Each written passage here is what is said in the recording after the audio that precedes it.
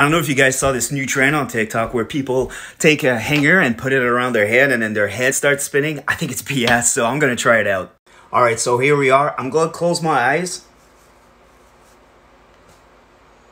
Holy shite, I, I can't believe this. I'm gonna try it again.